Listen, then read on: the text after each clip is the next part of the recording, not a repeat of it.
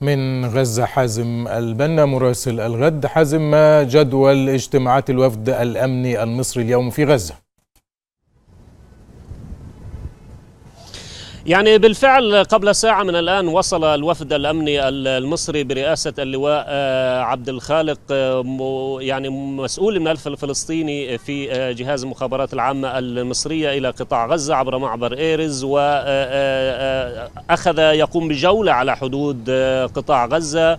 وسيلتقي بقيادة حركة حماس في قطاع غزة للتباحث بشأن يعني ملف التهدئة وأيضا كسر الحصار والعلاقات الثنائية بين الجانبين ومعروف بأنه منذ مساء الجمعة الماضية كان الوفد الأمن المصري يقوم باتصالات مكثفة بين إسرائيل وبين الفصائل الفلسطينية في قطاع غزة على ضوء التصعيد الناجم بعد قتل الإسرائيل لطفلين فلسطينيين خلال فعاليات مسيرات العودة وما أعقب ذلك ذلك من يعني إطلاق صواريخ والتصعيد الإسرائيلي وأيضا إطلاق الحوامة المسيرة من قطاع غزة عبوة ناسفة باتجاه مركبة عسكرية إسرائيلية.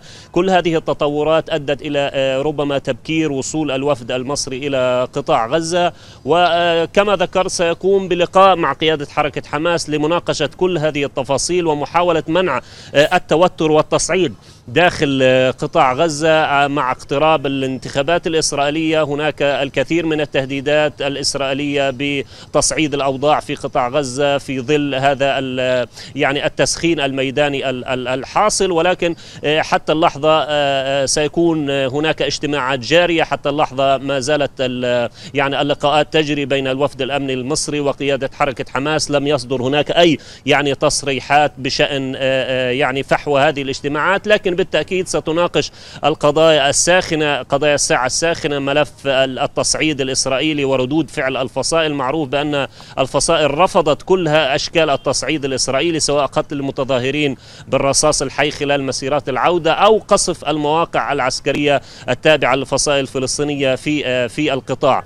في كل الأحوال ربما يكون هناك لقاءات أخرى مع فصائل. لا يوجد هناك تفصيل حول جدول أعمال الوفد المصري بشكل بشكل واضح. واضح لكن ربما يكون هناك لقاءات مع قيادة حركة الجهاد الإسلامي أو مع باقي الفصائل الفلسطينية على اعتبار بأنه في بعض الملفات التي لها علاقة بالوضع الميداني أو ملف يعني المصالحة الفلسطينية لا يعلم إذا كان هناك سيتم التطرق. بالتأكيد كلها ملفات متشابكة يمكن أن يتوسع جدول أعمال الوفد المصري باتجاه لقاء فصائل أخرى لمناقشة القضايا ذات الاهتمام المشترك. لكن في كل الأحوال الوضع الميداني جدا حرج في قطاع غزة وحساس في ضوء التهديد والتهديد المقابل نعم. يعني إسرائيل نعم. تهدد بأنه المعركة القادمة مع قطاع غزة ستكون نقطة تحول وفصائل لن تصمت كما ذكرت بياناتها وتصريحاتها على استمرار هذه نعم. الخروقات الإسرائيلية سواء فيما يتعلق بملف التهدئة أو ملف كسر الحصار وتقديم تسهيلات لقطاع غزة عازم البنا مراسل الغد من غزة شكرا لك